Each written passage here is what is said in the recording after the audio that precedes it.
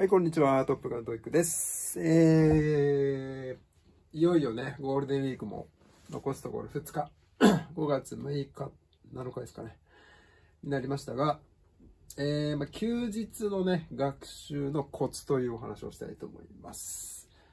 まあ、言いたいことは非常にシンプルです。2つだけ。えー、っと、きついこと。ね、一番やりたくないことをまず朝のうちというかね、最初にやりましょうってことです。プラス、まあこれはね、よく言われると思うんですけど、プラス、えー、好きな場所でやろうってことですね。やっぱりきついことを、なんて言うんだろう、好きでもない場所でやるって結構大変だと思うんですよ。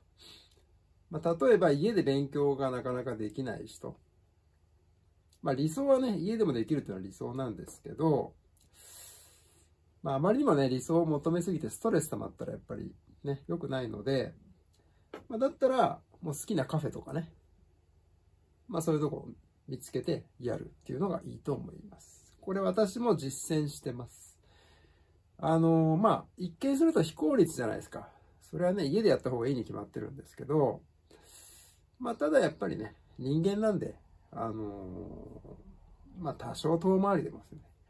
まあ、この方がやる気が出るんであれば、あの、私はこれの方がいいと思ってます。まあ、実際ね、私もゴールデンウィークこんな感じで勉強してます。まあ、なので、ぜひ実践していただければなと思います。まあ、きついことっていうとね、どうですかね。まあ、あれかな、やっぱりパート3、4の問題解く練習とかね。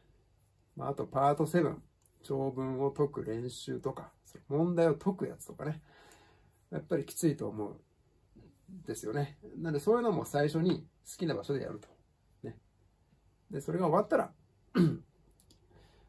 まあ、好きなことをやる。まあ、私の場合は割とね、参考書を読んだりとか、まあ、英語だったら要所を読んだりとかですね。まあ、そういうことは結構好きなので、まあ、好きなことっていうのは別に多少好きじゃない場所、自宅とかでもやろうと思えばできると思うんですよね。